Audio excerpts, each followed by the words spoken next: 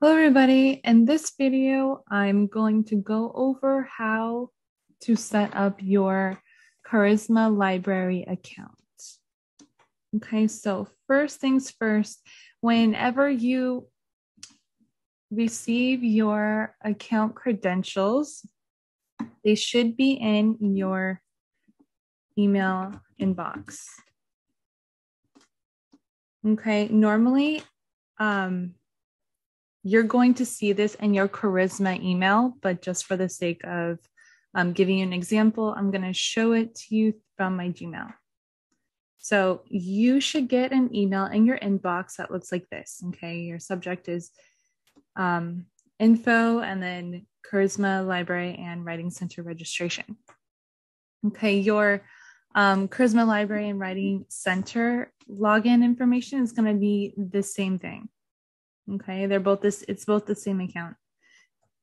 All right, so you're gonna first open up that email and this is what it's gonna look like. Okay, it's gonna give you a link to go ahead and set up your account. And then it's also gonna give you your username and your password. So what I would typically wanna do is make sure that I copy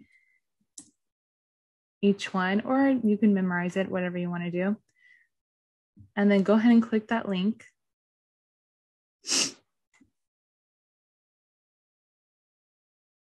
Then all you got to do is paste in your new username and password. Hit login. And this is what it should pull up. Okay. So as soon as you get into the library, here you are. Okay, this is um, your home screen. So this is what it should show. Okay, um, on the home page. Now, if you go further down, it'll show you how to access library and set up Grammarly. Um, so you probably want to go ahead and watch that video. It's a pretty good watch. Now, to start using the library, what you're going to do once you get to the library homepage, um, to your left hand corner or your left hand side, you're going to hit start your research.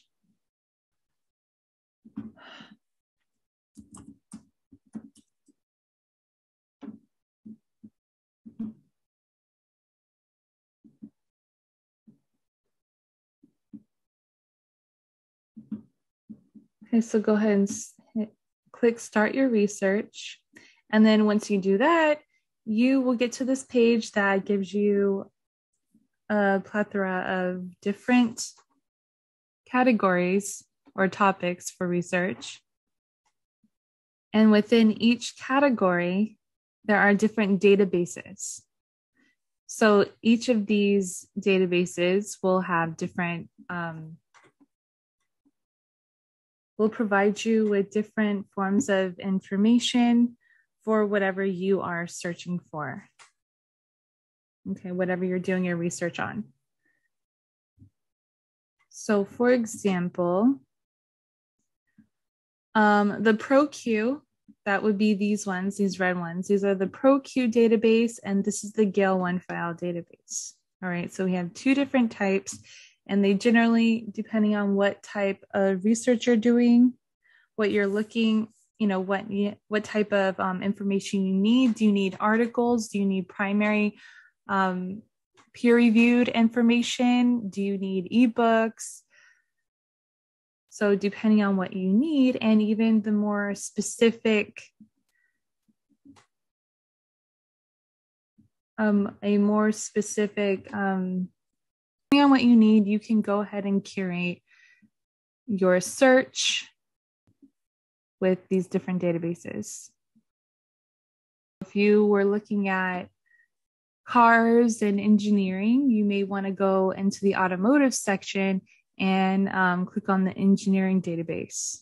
Okay, if you wanted to look at automotive stuff and what that has to do with the army, military, anything like that, you may want to go to the military database in the automotive section or aviation. Maybe you want to look up um, flight stuff, um, pilot doing work in business and you want to look for something that would be more of like world news and world articles, you probably want to go to the business section and click on the ProQ database for Inform Global. You're doing business technology or business computer science. You may want to go to the business section and, um, you know, computer science may be up your alley or news. Um, and the on the Gale OneFile database. You're looking for ebooks, typically Gale, the Gale database has your ebooks. Okay, ProQ has ebooks as well, and just kind of depending on the category, um, the category or subject matter that you're looking for, each um, one sort of has different databases. So, you know, the computer science may not always have everything that, um, you know, the business category has.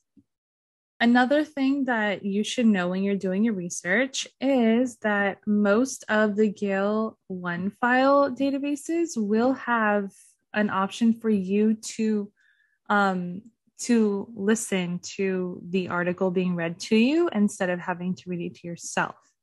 Um, not every Pro ProQ has that, but um, most of the Gale OneFiles do have that. So let me go ahead and give you like a quick example. I guess I clicked on vacations and careers. Let's go click on human services maybe. And let's just click on the first article that we see here. And as you can see at the top right here, you can, it has an icon, a button, if you will, um, where you can click and it allows you to listen to the whole article. So you can actually go ahead and have the article read to you. Now, if I didn't have a mic hooked up to my computer right now, we would actually be able to hear or to listen to this article being read to us. But, you know, it's not, we're not able to do so because I have a mic connected. But um, for your reference, that is, this is going to be what it looks like.